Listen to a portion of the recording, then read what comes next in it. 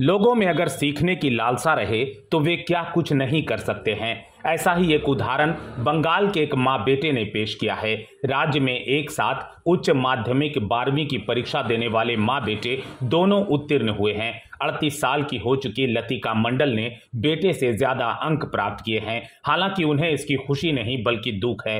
लतिका मंडल ने कहा कि बेटे को उनसे ज़्यादा अंक मिलते तो वह ज़्यादा खुश होती। दूसरी तरफ़ बेटे सौरभ का कहना है कि अपनी माँ से कम अंक लाकर भी खुश हैं, क्योंकि हार कर भी जीत उसी की हुई है। बता दें कि लतिका नदिया ज़िले के शांतिपुर के नरसिंहपुर इलाके की रहने वाले दिहाड़ी मजदूर असीम मंडल से करीब 20 साल पहले शादी हुई थी। उसके बाद वह आगे पढ़ नहीं पाई। हालाँकि मन के किसी कोने में पढ़ाई की आस जीवित थी। बेटे ने उन्हें फिर से पढ़ाई के लिए उत्साहित किया।